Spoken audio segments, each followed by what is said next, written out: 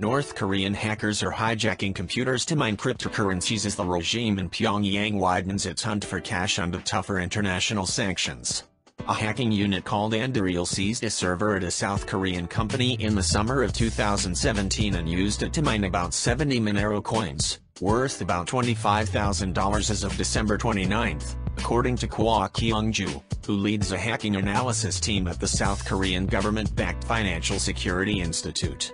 The case underscores the increasing appetite from cyber attackers for digital currencies that are becoming a source of income for the Kim Jong-un regime. North Korea is accelerating its pursuit of cash abroad as the world tightens its stranglehold on its conventional sources of money with sanctions cutting oil supplies and other trade bans. Andariel is going after anything that generates cash these days, said Kwak. Dust gathered over time builds a mountain. The hackers may have seized other computers to mine cryptocurrencies and appear to prefer Monero because the currency is more focused on privacy and easier to hide and launder than Bitcoin, Kwak said, citing the analysis of the server.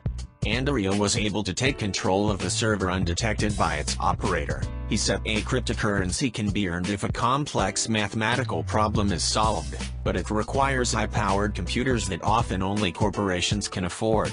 Not every company spends as much on protecting their computers from hackers. Yapian, the owner of Bitcoin exchange Youbit, said in December it would close after getting breached.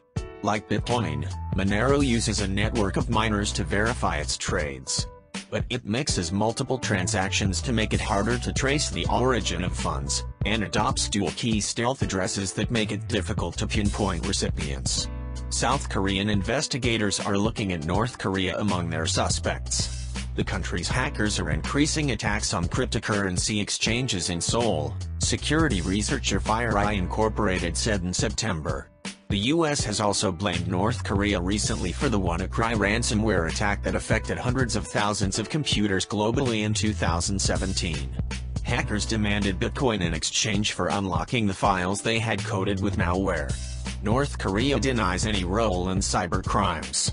The majority of attacks from North Korean hackers in the past year have focused on financial gain rather than government secrets, according to researchers dealing with them. The shift of focus may accelerate this year as the UN is stepping up its efforts to cut the flow of funds used by the regime to fuel its nuclear arms development.